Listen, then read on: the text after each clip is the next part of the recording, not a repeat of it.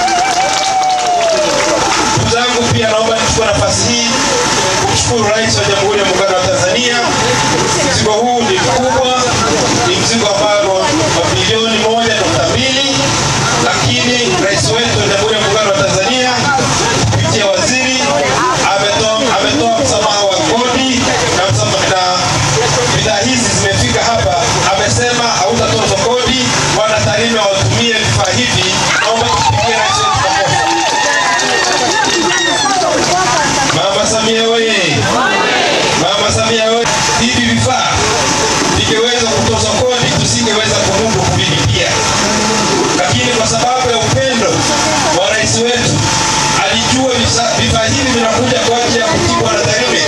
Na wilaya zinazozunguka Tarime, akasema hivi viende bila kulipiwa kodi. Naomba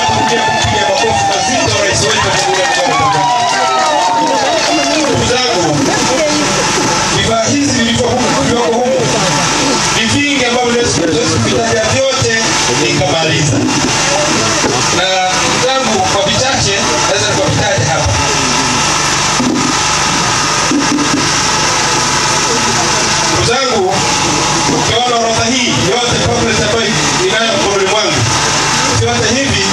ni vifaa tiba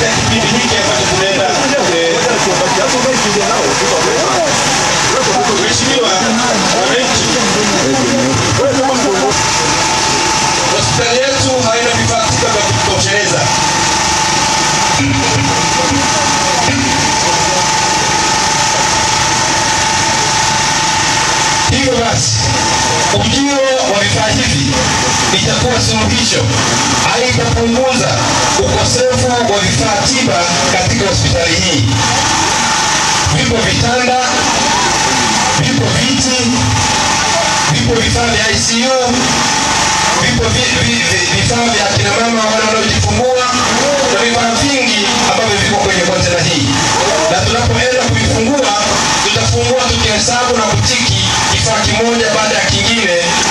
mrefu.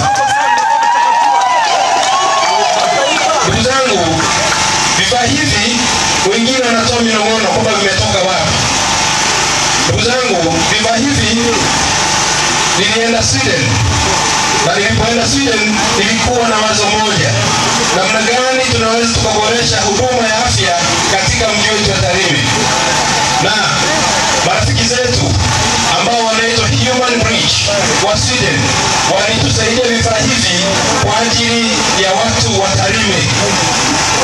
Naomba nichukue nafasi hii kuwashukuru sana wahisani hawa wa Human Bridge wa nchini Sweden kwa kutambua uwepo wa Tarime na kuona kwamba watusaidia vifaa hivi ili viweze kutusaidia.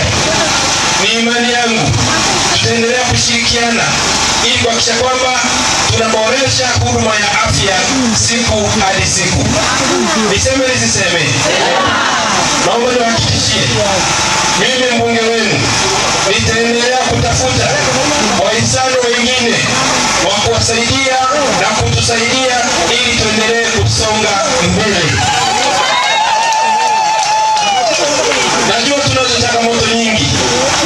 katika upande wa afya peke yake, lakini tuna changamoto katika upande wa elimu, tuna changamoto katika upande se- sekta mbalimbali, hata umeme. Lakini na uhakika serikali inafanya kazi kubwa ya kuhakikisha kwamba changamoto hizi zinatatuliwa. Ndugu zangu, nitoe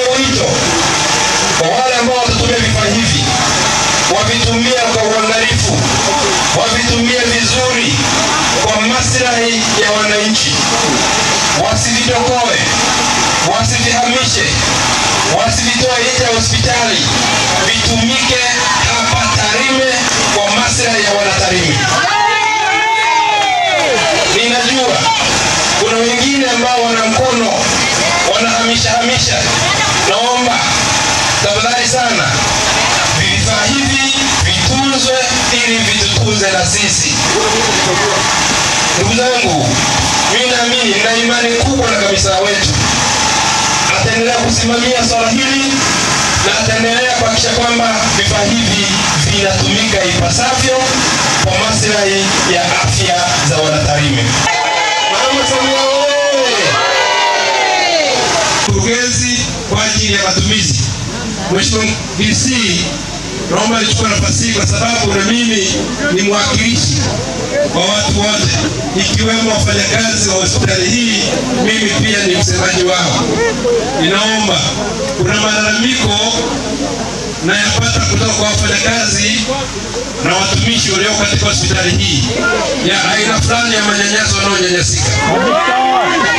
Naomba Mheshimiwa DC hili lifuatilie ili at least wapate amani wakati wanafanya kazi, wafanye kazi katika mazingira rafiki ili wa- wawe na amani, waweze kuhudumia watu wetu vizuri. Mheshimiwa DC, najua wewe ni msikivu. Naomba pia naomba pia TMO, najua huko hapa karibu na mimi.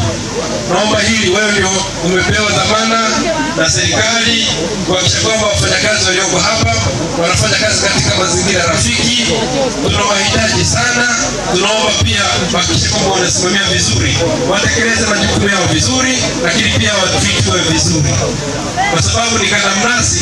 Ningeweza kusema mengi, lakini itoshe kusema hivyo, ili na wao waweze kufanya kazi katika mazingira rafiki.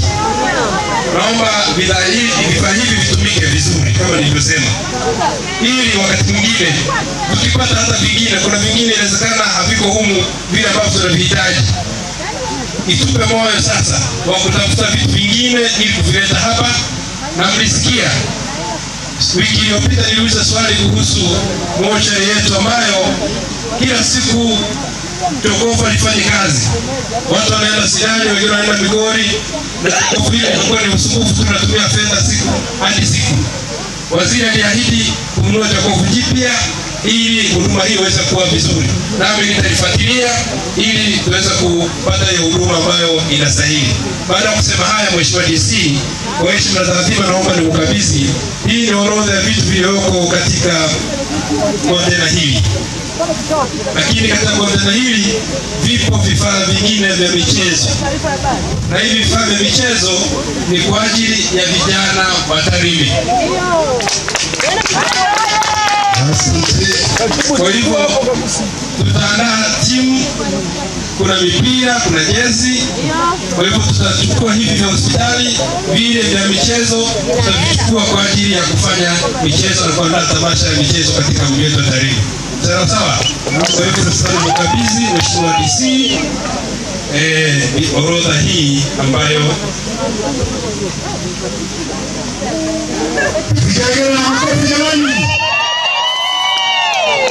Nichukue fursa hii kwa niaba ya serikali katika wilaya yetu ya Tarime mshukuru Mheshimiwa mbunge na kukiri kupokea orodha ya vifaa vilivyoko humu, tukampa TMO uh, timu yake wapitie kimoja baada ya kingine na kutiki au tuone. Vile vya michezo kama ulivyosema, tutavipeleka kwenye ofisi ya chama ili iweze kuandaa kwa malengo yaliyokusudiwa. Na hizo changamoto alizoziongelea za hospitali yetu kwamba kuna, kuna namna ya manyanyaso, watu wako ukaa nayo uwaambie utaratibu wa Manyanyaso hamna sababu ya kumdhalilisha mtu, kazi ifanyike kwa mujibu wa sheria na kwa mujibu wa taratibu. Kwa hiyo Mheshimiwa mbunge, tunamshukuru, mnasimamia kuhakikisha kwamba vifaa hivi vinatumika kwa malengo yaliyokusudiwa na si vinginevyo. Asante sana, nashukuru sana.